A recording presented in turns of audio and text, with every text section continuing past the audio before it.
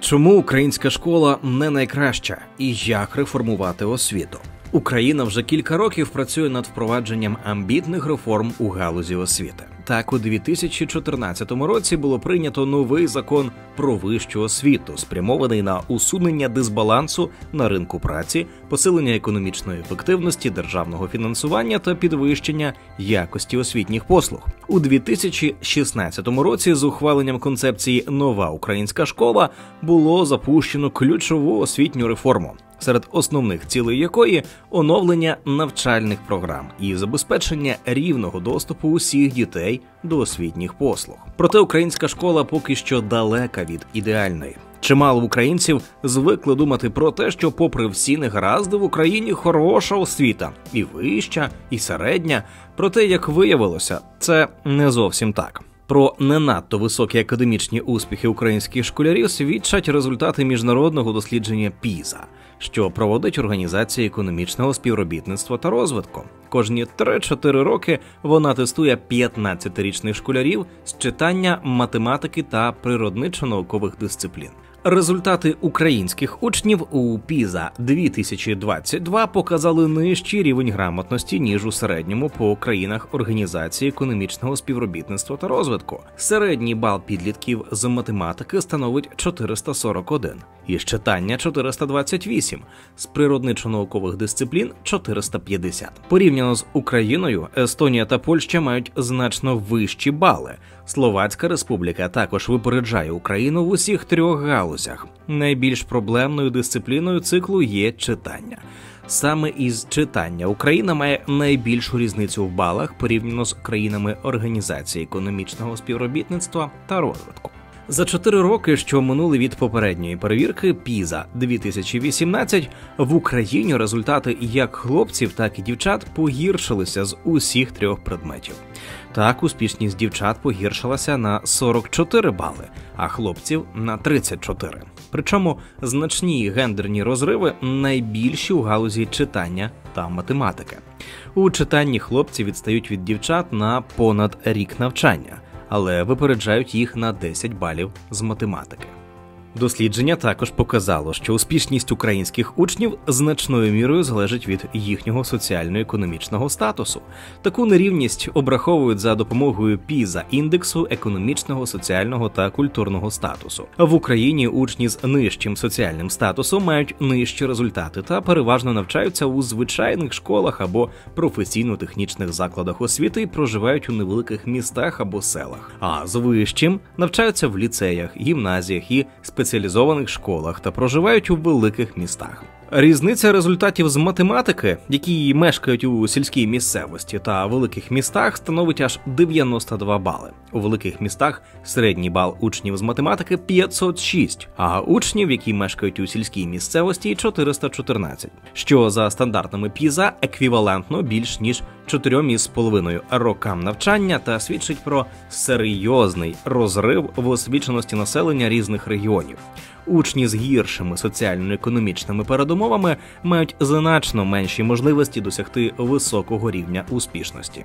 Чому взаємозалежність соціально-економічного статусу сім'ї та шкільна успішність учнів є проблемою? Низка економістів, зокрема відомий французький дослідник та автор книги Капітал у 21 столітті Тома Пікетті, писав, що один із найефективніших способів подолати бідність та зменшити нерівність це однаковий доступ усіх учнів до якісної шкільної освіти. У цьому відео ми розповімо, як завершити освітню реформу, в результаті чого українська школа стане місцем, де усі здобуватимуть якісну освіту, а українські учні набирають найвищі бали у міжнародній програмі з оцінювання Піза.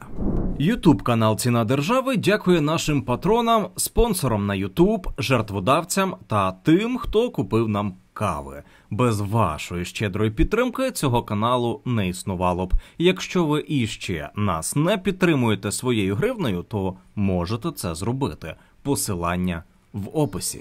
Частина проблем шкільної освіти та як результату низького рівня успішності українських учнів лежить на поверхні: погане матеріальне забезпечення та стан приміщень, де навчаються школярі, брак педагогічних кадрів, низька мотивація вчителів і недофінансування, постійні прохання адміністрації школи та батьківських комітетів здати кошти батьків для розв'язання оперативних проблем навчальних закладів, питання щодо якості харчування якість навчальних програм. Частина проблем більш глибинна. Передусім йдеться про проблеми автономності школи в прийнятті управлінських, фінансових і кадрових рішень у рамках комплексної реформи децентралізації в Україні. Система освіти зазнала змін. Зокрема, змінився механізм фінансування шкіл у громадах. Це збільшило мобільність в управлінні закладами освіти та підвищило його ефективність. Але цього недостатньо, щоб докорінно змінити якість шкільної освіти в Україні. Українська школа бажає кращого, особливо в сільській місцевості, де освіту до великого вторгнення отримувало 1,2 мільйонів українських учнів. А це майже третина всіх учнів в Україні. Сільська освіта в Україні це яскравий приклад неефективного використання коштів платників податків. Попри те, послуги освіти для сільських дітей зазвичай менш доступні аніж для їхніх однолітків у місті. Дані Українського центру оцінювання якості освіти підтверджують, що школярі сільських шкіл значно відстають за результатами тестування від своїх міських однолітків. За результатами національного мультипредметного тесту у 2023 році середній бал з української мови для сільської місцевості становив 144,5 бали. Для селища міського типу 147,7, для міст 150,9 бали. Частка екзаменаційних робіт сільських школярів із низькими показниками в порівнянні із міськими щорічно зростає. На ЗНО 2016 року більшість учнів сільської місцевості демонстрували початковий і середній рівень знань з української мови, історії України та математики. У 2021 році дана тенденція збереглася. Водночас у містах випускники загальноосвітніх закладів демонструють набагато кращий рівень знань достатній та високий бал у 2021-му отримують 54,2% учнів з української мови, 64,4% з історії України та 30,4% з математики. За результатами сесії ЗНО 2021 року, переважна більшість шкіл, де випускники не склали обов'язковий екзамен з української мови та літератури, належать до сільської місцевості, що підтверджує їхню нерентабельність із точки зору запровадження певного рівня якості освітніх послуг. Рейтинг незадовільних результатів очолює Закарпатська область, де не склали іспит 425 школярів, що становить 9,5% від загальної кількості сільських шкіл по Україні. Витрати на освіту учня в сільській місцевості перевищують аналогічні у місті. До повномасштабного вторгнення для навчання учнів у сільській місцевості утримувалося дві третини усіх шкіл. У них працювало майже половина вчителів України. У середньому в сільській місцевості розмір класу не перевищує 11 осіб що вдвічі менше аніж у великих містах 24 учні диспропорції вартості навчання між селом і містом у межах області можна проілюструвати на прикладі Черкаської області станом на 2019 рік.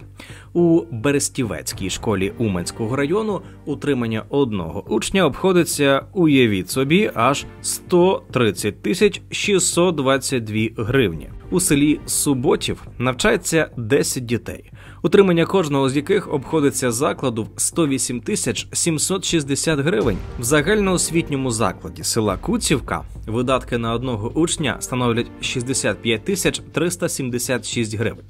Щоправда, навчається там 30 дітей.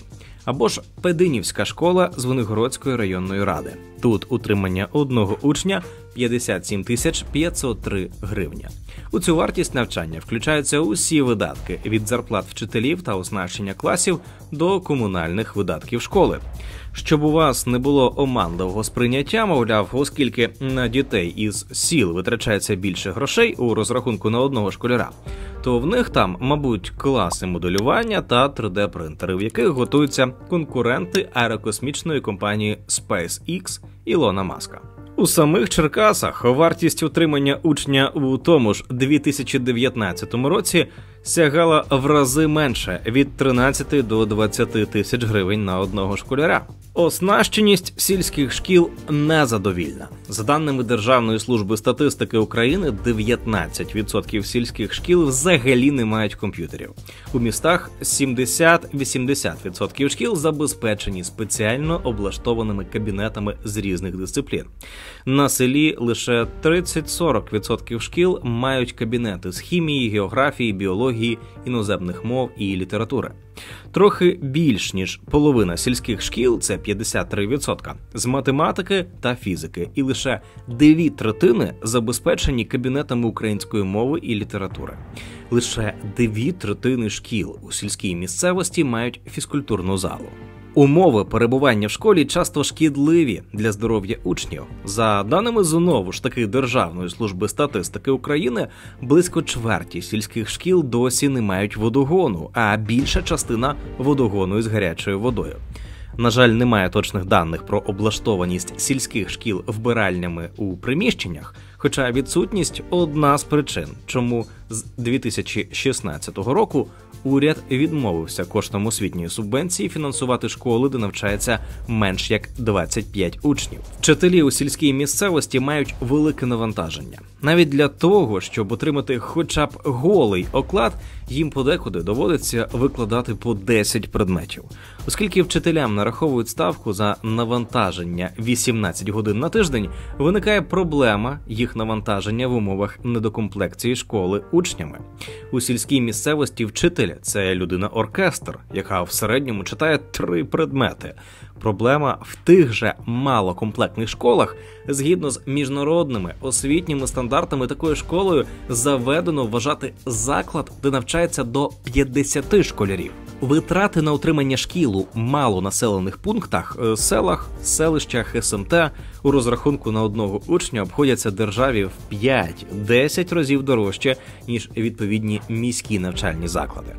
У деяких сільських школах вартість року навчання на одного школяра сягає 50, 80, навіть 100 тисяч гривень, і це при середньому нормативі для міської місцевості у 8 тисяч гривень, а для сільської 14 тисяч гривень на рік. Причина низька наповнюваність класів, іноді до п'яти учнів.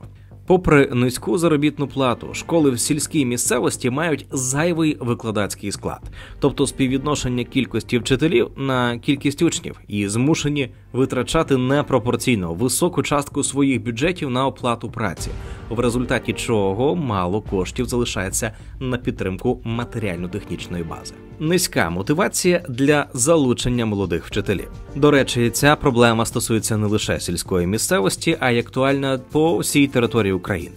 Уклад педагогічних працівників на 70% складається зі стажу. Відповідно, більшу заробітну плату отримують вчителі старшого віку, що демотивує молодих спеціалістів до викладання. Відносно низький рівень оплати праці вчителів призводить до того, що молодь не зацікавлена працювати в школах. Відтак простежується тенденція старішання педагогічного складу шкіл. За такої ситуації, менш ніж через десятиліття, сьогоднішній склад вчителів вийде на пенсію, а новий не сформується. Це реальна загроза всій українській системі освіти. У західному світі ж популярна практика виплати заробітної плати у школах не на основі років викладання, а результатів проходження систематичної сертифікації раз на декілька років. На тлі зазначених проблем не дивно, що академічні успіхи учнів у сільських школах невтішні. Проблема сільської освіти не унікальна для України. Оптимізації шкільної мережі зазнавали школи Австралії, Англії, Канади, Кореї, Португалії. Розпорошеність шкільних закладів стала причиною реформи освіти країн постсоціалістичного простору Молдови, Казахстану, Польщі, Сербії. Аналогічно це стосується й скандинавських країн, де щільність населення низька. Через географічне розташування в Норвегії 650 тисяч осіб проживають у віддалених населених пунктах. Попри те, тут було запроваджено стимули щодо консолідації шкіл через передачу освітнього гранту на рівень муніципалітетів. Найбільш популярний захід боротьби з вадами малих шкіл це створення опорних закладів або шкільних кластерів федерацій. Досвід Швеції подібний до Норвегії. Тут також спочатку вирішили підтримати сільську громаду, але з 1993 року трансферт на освіту почали розподіляти місцеві органи влади, що зразу відчули переваги економії від масштабів та консолідації шкіл. В Ісландії тривалий час малі школи, це третина шкіл, де кількість учнів не перевищує 120, вважали прийнятними через особливості розподілу населення територією країни. Однак і тут з 2005 року почали замислюватися над оптимізацією. Щоправда, рішення приймали окремо для кожної школи через консультації місцевої влади та директора школи. Якщо звернутися до міжнародного досвіду реорганізації малокомплектних шкіл, то їхнє закриття або консолідація були зумовлені перш за все економічними мотивами, а також браком вчителів, які б бажали працювати в селах. Так, скорочення кількості сільських шкіл у Фінляндії тривало понад 20 років. За такий довгий період чисельність шкіл у сільській місцевості зменшилася із 2093 до 660. Починаючи із 2008 року, з метою зменшити бюджетні витрати на освіту в Італії було скорочено близько 140 тисяч робітників освітянської галузі і закрито понад 450 малочисельних шкіл. 750 загальноосвітніх навчальних закладів були консолідовані. Масова міграція сільського населення до міст призвела до закриття 30 шкіл у селищах Данії впродовж періоду із 1990 по 1999 рік. Згідно з ініціативою українського уряду, принцип середня школа у кожне село замінюють на мережу опорних шкіл та їхніх філій. Уряд обрав своїм інструментом шкільні округи. На практиці це виглядає так: початкову школу діти відвідують у своєму селі. Після її закінчення вчаться в опорній школі. Держава бере на себе зобов'язання надати шкільні автобуси та збудувати дороги, якими ці автобуси мають їздити. За задумом, статус опорної школи отримує найбільша в регіоні. Обов'язковою для опорної школи є повна матеріально-технічна база, спортивні об'єкти, оснащені кабінети фізики, хімії, біології, географії та лабораторії. Це також кваліфіковані педагогічні кадри та досвідчений директор, обраний за конкурсом. У такій школі має вчитися не менш як 360 учнів, не враховуючи тих, хто доїжджає із сусідніх населених пунктів.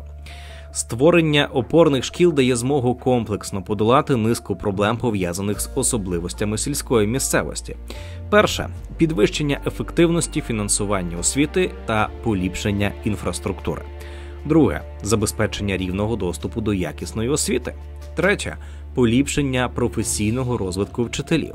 Четверта кращі можливості надавати послуги учням зі спеціальними можливостями або потребами, створення умов інклюзивної освіти для людей, що потребують додаткової, постійної або тимчасової підтримки в освітньому процесі. Це обов'язковий компонент створення опорних шкіл. П'яте збереження початкової школи як культурного осередку. Більші школи зазвичай ефективніші та дають кращий результат. Сільські школи це не тільки малі класи це також мала школа. Симпатики малих шкіл вказують на їх корисність для дітей із вразливих сімей, на можливість приділити увагу кожному учню. Аргументи ж за консолідацію шкіл зазвичай включають наступне: по-перше, більші школи асоціюються з вищою якістю викладання та навчання. У великих школах вчителі мають більше шансів на спеціалізацію. Тим часом, як у малих, вони змушені читати різні предмети для різних класів і таким чином розпорошувати свої зусилля. По-друге, більші школи можуть запропонувати своїм учням якіснішу та ширшу програму навчання. Наразі це поки що не зовсім про Україну, але зважаючи на тенденції до децентралізації та автономізації навчальних закладів, цей аспект невдовзі стане актуальним. По-третє, більші школи вважають економічно ефективнішими. По-четверте, вони можуть насправді краще враховувати потреби учнів, формувати класи залежно від рівня підготовки, пропонувати класи з поглибленим вивченням дисциплін залежно від здібностей учнів. По п'яте, школи також мають і неакадемічні аспекти життя. Більші школи можуть запропонувати більші можливості соціалізації, відвідування гуртків, факультативів, інших позашкільних занять, які матимуть позитивний вплив на академічні успіхи учнів. Міжнародний досвід і дослідження вказують на те, що найбільш прийнятний шлях реформи оптимізація шкільної мережі та збереження малих шкіл лише у віддалених фізично ізольованих громадах, де транспортування учнів і вчителів до школи за прийнятний проміжок часу просто неможливе. Для української освіти було б доцільно перейняти досвід європейських країн у галузі реформування освіти та забезпечення автономії школи.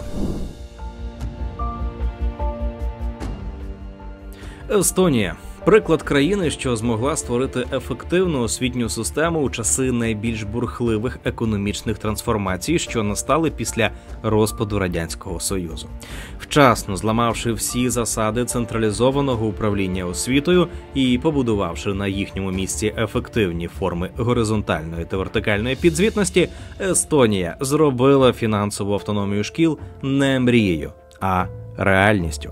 Естонська влада приділяла освіті значну увагу вливанням коштів на рівні більш заможних на той момент держав організації економічного співробітництва та розвитку. Утім, виділяти кошти на освіту не єдина запорука успіху. Пріоритет є створення системи ефективного контролю за використанням освітніх послуг школами та учнями.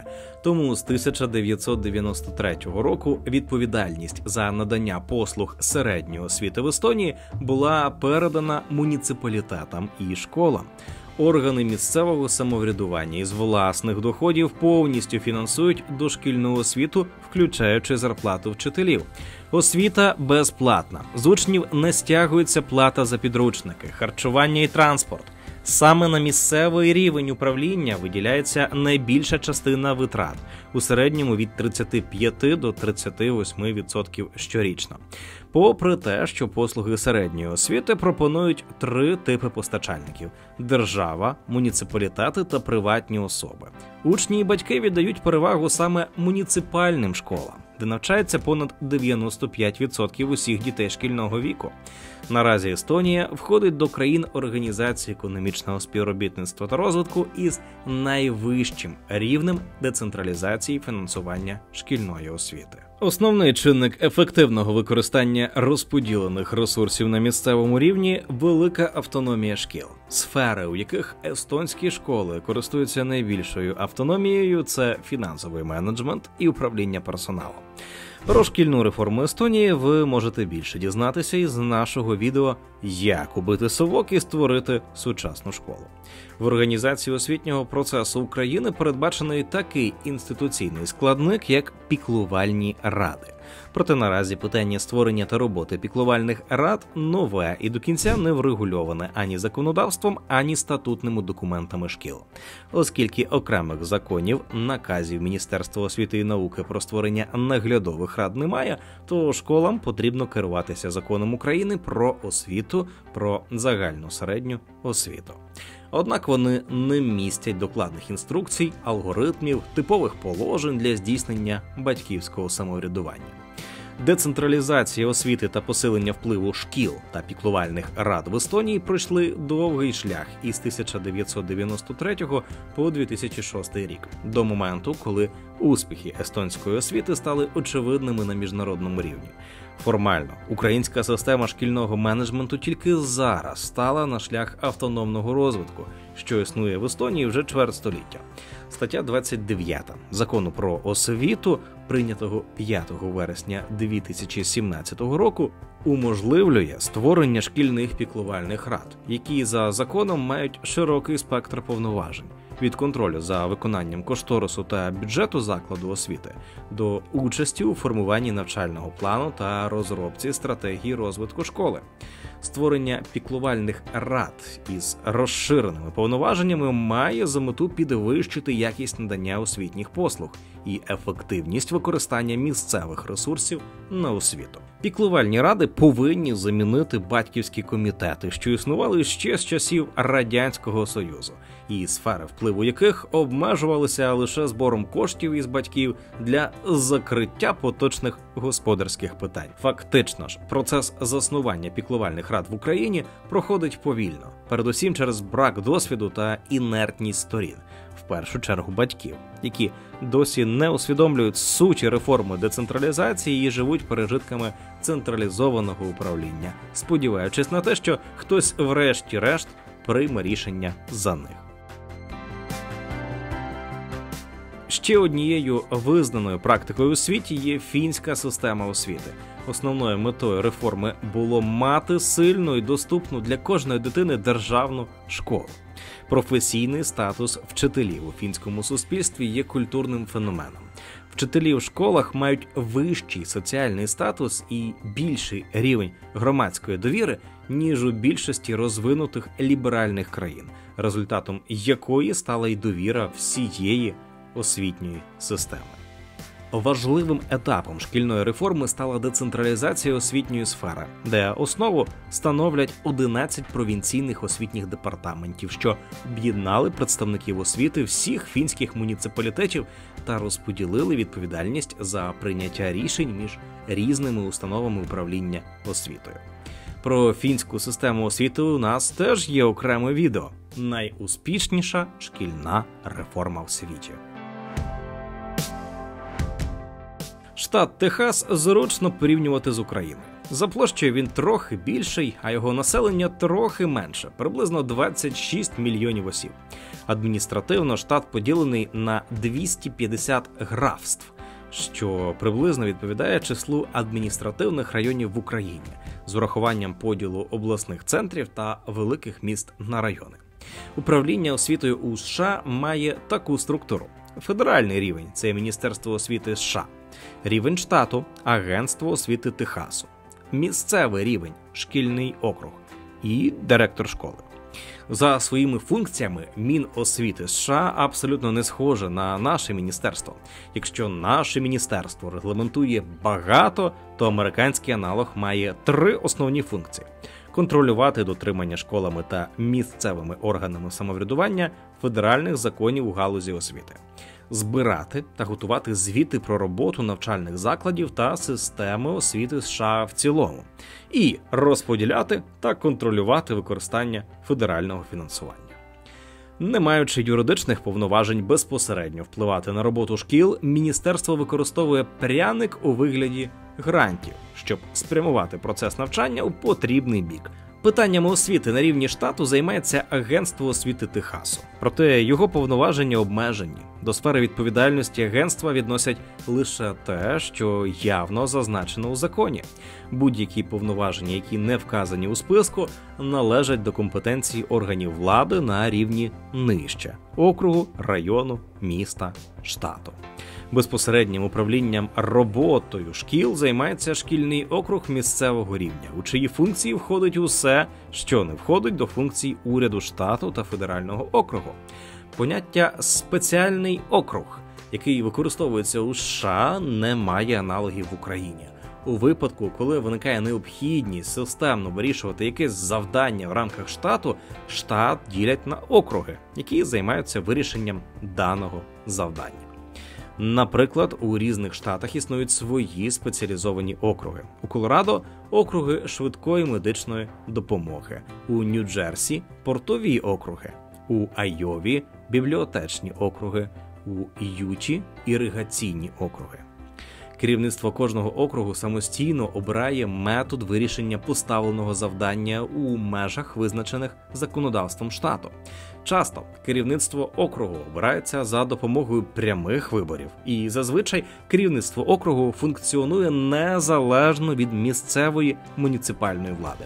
Тобто мер міста в Айові не може звільнити директора бібліотеки міста, якщо вона входить до складу бібліотечного округу.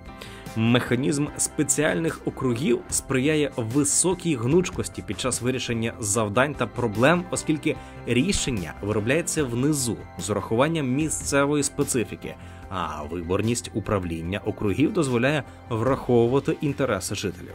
Адміністративно Техас поділено на 250 округів. Водночас для організації навчального процесу він поділений приблизно на одну тисячу навчальних округів. У найменшому всього 13 учнів, а у найбільшому 202 тисячі. Відмінність штату Техас від інших полягає в тому, що округи є незалежними від будь-якої місцевої чи муніципальної влади та називаються незалежні шкільні округи. Під незалежністю розуміється, керівництво округів обирається із його мешканців. Округ безпосередньо не підпорядковується урядовим структурам, федеральним, штату та муніципальним, але має виконувати вимоги законодавства. Має владу самостійно визначати рівень податків. Якщо шкільні округи, наприклад, у місті Нью-Йорк, фінансуються з міського бюджету, то незалежний шкільний округ не залежить від муніципального бюджету. Шкільний округ управляється радою. У складі ради може бути 3, 5 чи 7 членів. Також існують округи, які управляються одноосібно. Рада складається з однієї особи. Рада виробляє правила та політику, а її безпосереднім втіленням займається найманий керівник суперінтендант, який має виконавчу владу та забезпечує реалізацію прийнятих рішень. Таким чином, побудова системи освіти у США є принципово іншою ніж в Україні. Федеральний уряд, не маючи можливості впливати безпосередньо на процес навчання, створює систему стимулів, яка заохочує розвиток у необхідному напрямку. На рівні штату політику освіти визначає комісія з освіти, чий склад обирається під час прямих виборів. Комісія визначає навчальні програми, перелік і кількість предметів, що вивчаються, тривалість занять, рівень і склад випускних іспитів. Уряд штату в особі агентства з освіти Техасу займається втіленням рішень комісії у життя, а саме адміністративною, методичною та контрольною роботою. На рівні шкільного округу приймаються рішення менш глобальні, але значущі для батьків та навчання дітей у школі: розклад, форма, факультативні заняття, шкільний автобус тощо. Принцип управління такий самий. Виборна рада розробляє політику, а найманий суперінтендант втілює її в життя. Як і в більшості держав, принципи шкільної освіти в Британії регулюються міністерством освіти. Проте, на відміну від ситуації в Україні, значний обсяг повноважень в керуванні школою делегується до більш локальних формувань, а саме органи місцевої влади, шкільне управління, батьківський комітет, асоціація батьків та вчителів. Найширшими повноваженнями в Британії володіє шкільне управління. Його чисельність не фіксована та залежить від рівня школи кількості учнів.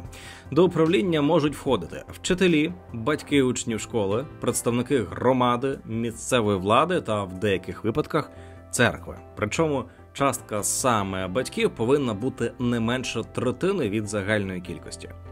Представників батьків обирають на шкільних зборах з поміж асоціації батьків PTA чи батьківського комітету шляхом голосування. Попередньо батьки можуть просувати свої кандидатури у виборчих кампаніях. Шкільне управління тісно співпрацює з директором школи, і що важливо, і директор, і вчителі певною мірою підпорядковуються цьому управлінню. Основні питання вирішуються на зборах, що відбуваються хоч би один раз на навчальний рік. Додатково, член управління повинен приєднатись до одного з комітетів з конкретних питань, наприклад, фінансування чи навчального плану. Хоча шкільне управління діє на волонтерських засадах, його діяльність та якість виконання обов'язків оцінюється Державною інспекцією з освітніх стандартів. У випадку негативного звіту інспекції члена шкільного управління може бути відсторонено від обов'язків, і на його місце оголошують набір. Посада члена шкільного управління вважається почесною і дуже цінується в громаді. PTA – асоціація батьків та вчителів наділено меншими повноваженнями, але не менш важлива у структурі управління. Це організація, до якої входять вчителі та батьки учнів. Батьки, як правило, потрапляють туди автоматично при вступі їхніх дітей до школи.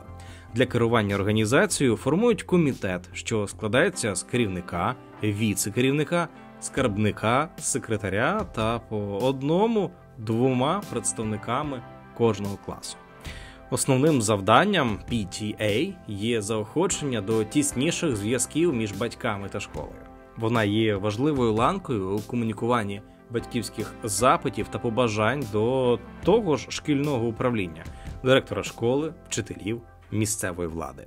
Проте варто зазначити, що така комунікація несе виключно рекомендаційний характер. Право прийняття рішень до повноважень PTA не входить.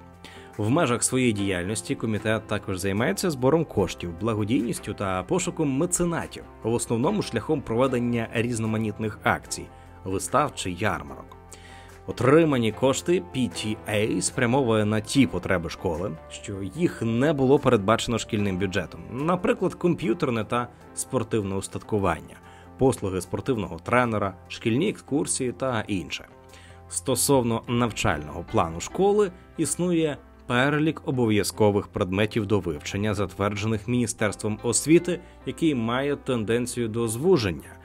Решту предметів шкільне управління вносить до навчального плану на свій розсуд, попередньо проконсультувавшись з батьківським комітетом. Для британської системи освіти характерним є високий рівень залученості батьків у керування школами, де навчаються їхні діти. Батьки мають великий вплив на формування умов для навчання своїх дітей, що важко переоцінити.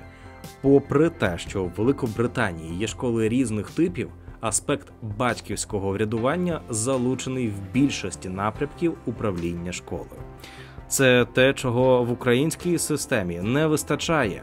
Вітчизняна практика залученості батьків зводиться лише до шкільних батьківських зборів пару разів на рік. Освітня реформа передбачає автономію для усіх суб'єктів навчального процесу. Нова школа повинна отримати широку автономію. А це значить, що адміністративні та навчально-методичні повноваження делеговані на рівень закладу освіти. Школи самі складають навчальні плани та програми, самі обирають підручники, підбір персоналу директором закладу освіти та інше. Автономія для вчителя означає значний простір для свободи вибору та творчої реалізації його педагогічних ідей методики та підходи до викладання, вибір навчальних програм. Місцеві органи влади мають право самі формувати мережу навчальних закладів та розподіляти між ними фінанси. У результаті децентралізації та створення об'єднаних територіальних громад став іншим і механізм фінансування українських шкіл. Відбулася реорганізація закладів шкільної освіти на місцевому рівні, а саме запущено процес формування освітніх округів на опорних навчальних закладів. Управлінські та фінансові повноваження зосередились в місцевих радах та її виконавчих органах, а громади отримали змогу перейти на прямі міжбюджетні відносини з державним бюджетом. З 2015 року більша частина видатків на освіту йде з місцевих бюджетів у вигляді освітньої субвенції обсяг якої розраховують за формулою, яка розподіляє кошти відповідно до наповненості класів. Тобто, що нижча наповнюваність класів у школі, то менше коштів отримує місцевий бюджет на її утримання. Тому проблема фінансової автономії тісно пов'язана з питанням малокомплектних шкіл. Згідно з проєктом концепції розвитку освіти на період 2015-2025 років, одним із напрямів підвищення ефективності розподілу бюджетних коштів в освітній галузі є реформування малокомплектних шкіл. В рамках реформи передбачається як ліквідація або об'єднання невеликих сільських шкіл, так і скорочення викладацького складу. Головною метою оптимізації є потреба зменшити витрати на утримання шкіл. За розрахунками закриття одного малокомплектного загальноосвітнього навчального закладу першого ступеня дасть змогу зекономити від 100 до 300 тисяч гривень, загальноосвітнього навчального закладу першого другого ступенів від 500 до 760 тисяч гривень. На сьогодні спостерігаються суви з питання закриття малих шкіл, зокрема у невеликих містах та селах. Проте тенденція не розширилася на всю територію України. Аналогічно і шкільна автономія поки що не набула популярності. Одна з ключових проблем, яка стає на заваді повсюдному поширенню шкільної автономії, психологічна та організаційна неготовність адміністрації шкіл брати відповідальність за долю навчальних закладів. Відсутня реальна фінансова, кадрова, організаційна та академічна самостійність навчальних закладів в управлінні школою досі домінують методи планово-адміністративного розподілу.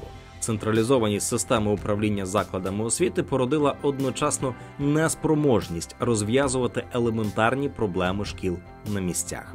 Адміністрації шкіл ніколи не мали досвіду самостійного господарювання, формування реальних стратегічних планів розвитку навчального закладу.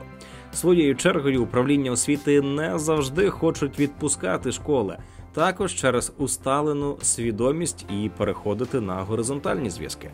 Відсутність автономії ускладнює поточний рівень та ефективність фінансування шкіл.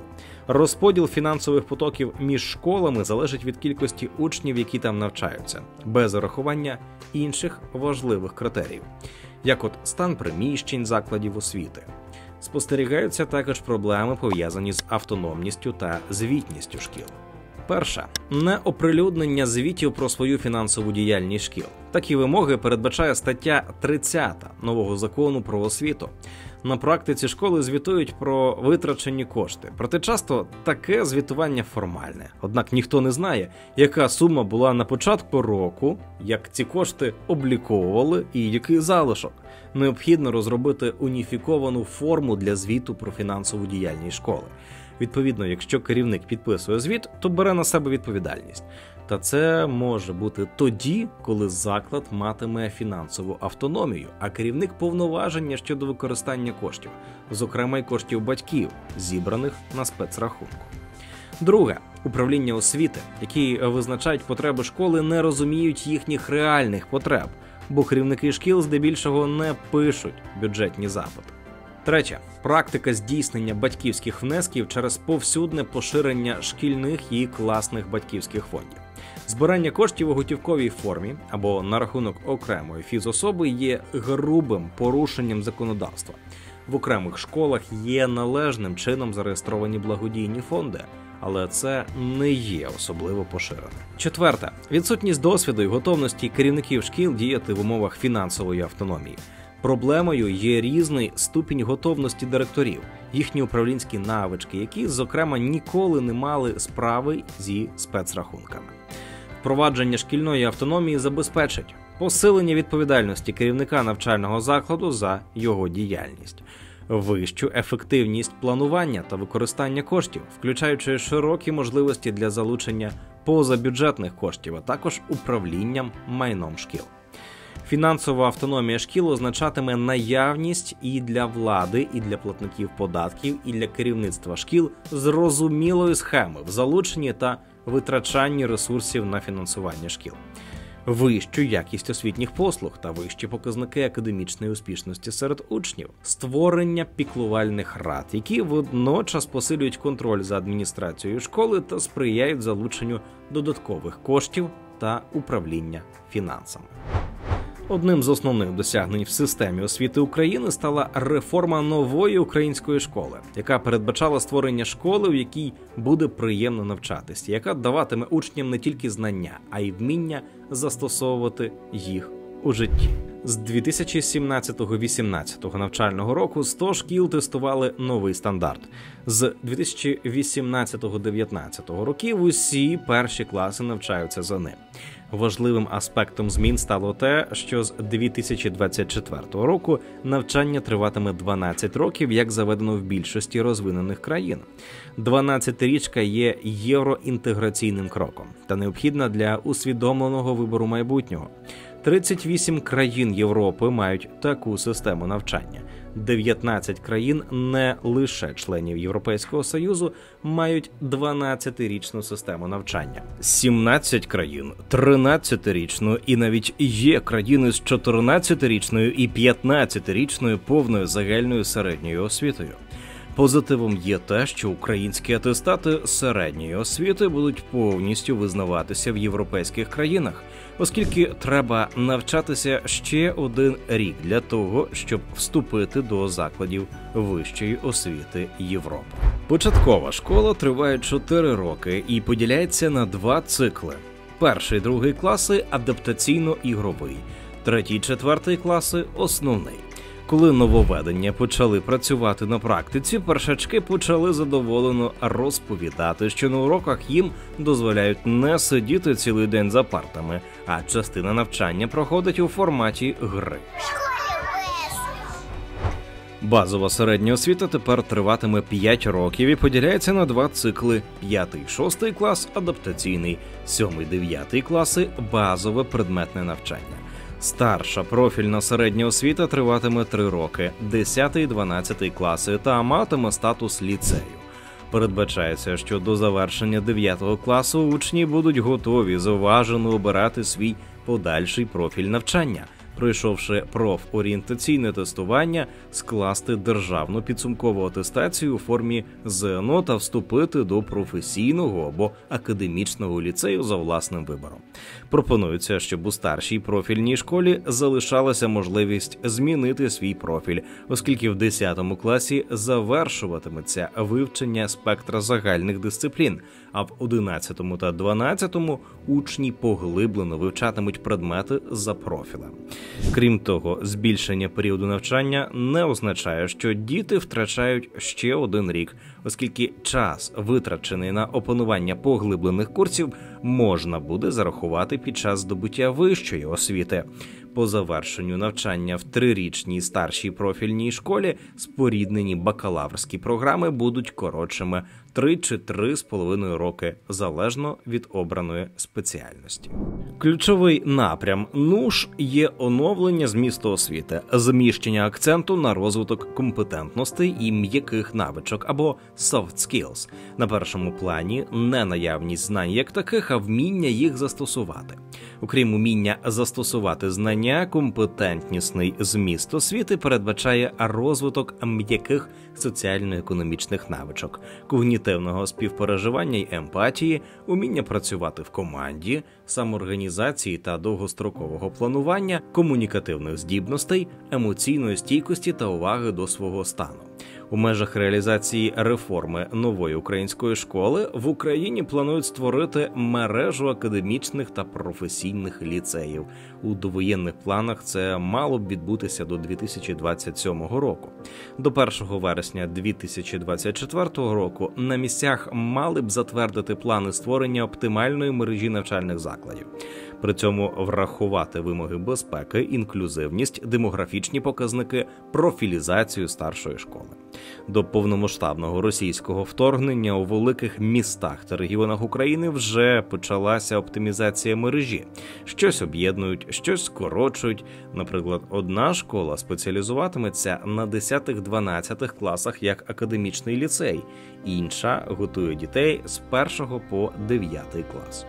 Кроки до освітнього самоуправління на місцевому рівні потрібно робити вже зараз. Серед них заснування відділів освіти у всіх без винятку об'єднаних територіальних громадах із подальшим формуванням піклувальних рад, до складу яких включити головних стейкхолдерів, директорів шкіл, педагогів, батьків, учнів, випускників, представників організацій, роботодавців, як це визначено у законі.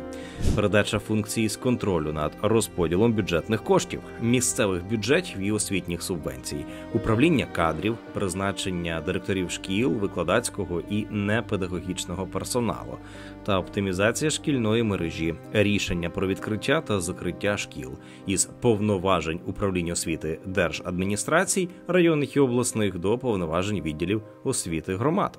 Задля уникнення конфліктів і перешкод, що наразі виникають між відділами освіти ОТГ та управліннями освіти держадміністрації, чітко окреслити останнім їхні функції за нових умов управління з урахуванням побажань Міністерства освіти і науки України як зацікавленої сторони у дотриманні національних інтересів освітньої політики.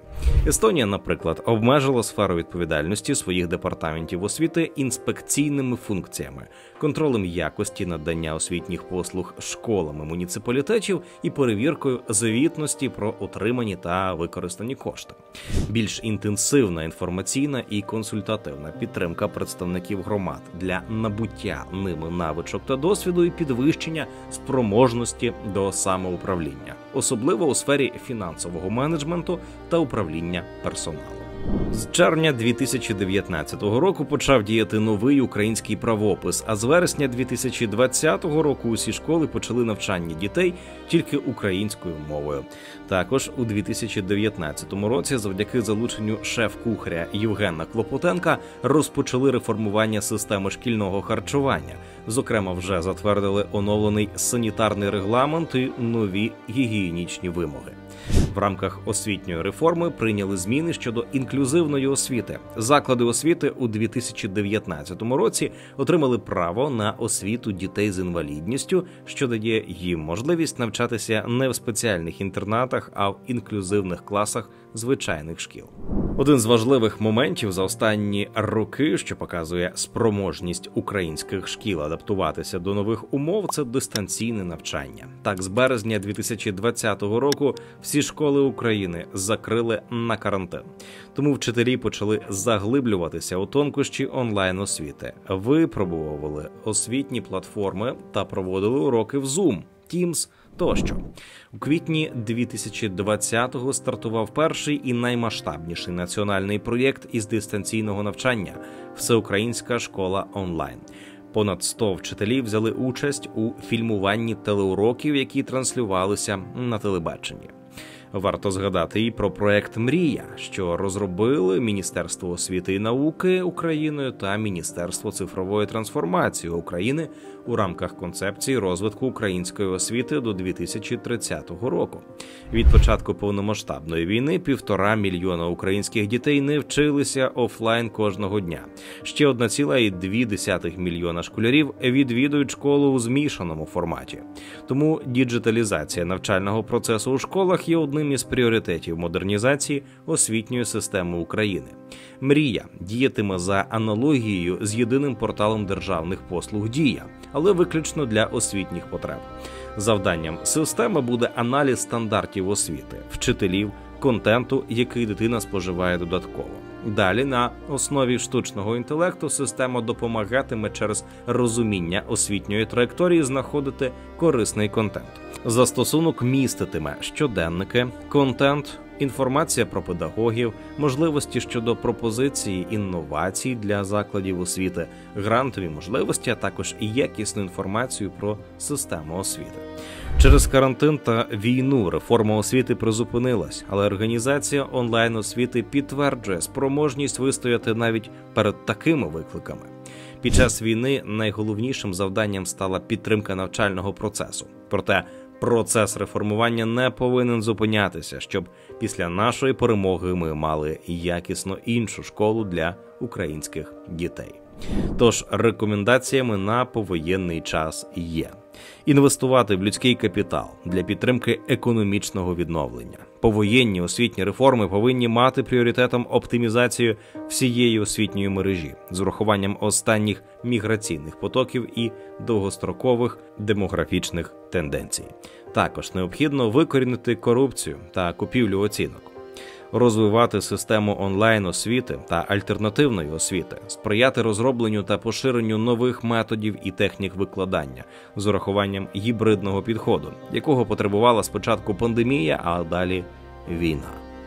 Продовжити реформи нової української школи, покращуючи контроль якості, фінансування та управління вищою освітою відновити державні іспити для 4, 9 та 11 класів, продовжувати інтеграцію вищої освіти та наукових досліджень, посилюючи професійний розвиток, працюючи з прогнозами тенденцій ринку праці та державного замовлення у сфері освіти. Якщо резюмувати та узагальнити все, що викладено у цьому довгому відео, то зміни у шкільній освіті зводяться до двох ключових речей. Ефективніший перерозподіл наявних коштів, у тому числі через оптимізацію мережі шкіл, запровадження повноцінної шкільної автономії, де батьки займатимуть проактивну позицію та матимуть одну з ключових ролей. Треба бути відвертими перед собою. Масова пасивність та байдужість батьків до шкільних процесів, зокрема толерування корупційних дій, як то обов'язковий щомісячний збір з батьків на охорону в одній зі шкіл Ірпеня, є однією з головних причин нинішнього стану шкільної освіти. Автономія, що породжує прозорість, буде ефективною пігулкою від хвороби. Держава повинна на законодавчому та нормативному рівні забезпечити повноцінне функціонування шкільної автономії. Попри боротьбу з наслідками війни, кризою на ринку праці освітян, дефіцитом фінансування, сподіваємося, що розглянуті нами цілі втіляться в життя, адже це основа якісної освітньої політики та як наслідок розумних школярів та освіченої нації. Докладніше, що треба зробити у сфері освіти, читайте у нашому звіті Економічні пріоритети повоєнної України, план реформ, посилання в описі. Це відео було створено завдяки підтримці Atlas Network. Думка авторів відео не обов'язково має збігатися з Atlas Network. Підтримайте поширення якісного україномовного відео від ціни держави. Підпишіться на канал, залиште коментар під відео та поставте вподобайку.